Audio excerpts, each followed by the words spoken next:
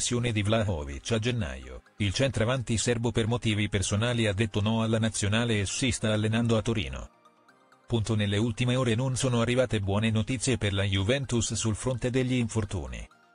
I bianconeri, infatti, nelle prossime partite dovranno fare a meno di uno dei nuovi acquisti, quel Xisco Conceição che dopo l'esordio nel match di domenica scorsa contro la Roma ha convinto proprio tutti con le sue serpentine potenzialmente letali, che hanno messo a dura prova la retroguardia capitolina.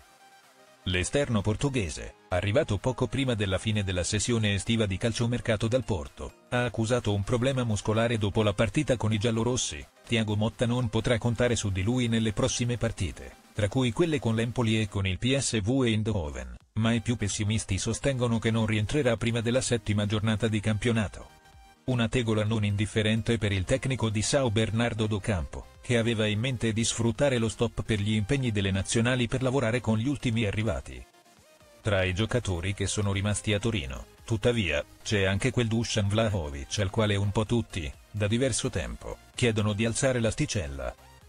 Cessione di Vlahovic a gennaio, la Juve sta sondando il terreno per il rinnovo. La prestazione dell'attaccante serbo contro la Roma non è stata positiva, soprattutto se confrontata con quella della settimana precedente con il Verona, in cui aveva messo a segno una doppietta.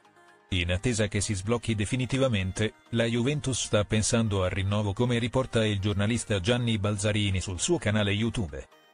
Da qualche giorno sono ripresi i colloqui per spalmare il contratto fino al 2028, ha detto abbassando lo stipendio e inserendo dei bonus che andranno a compensare questa situazione.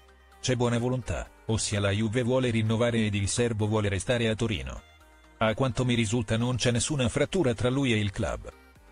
Il discorso è mettersi d'accordo su questo abbassamento, sulla cifra e sull'allungamento del contratto.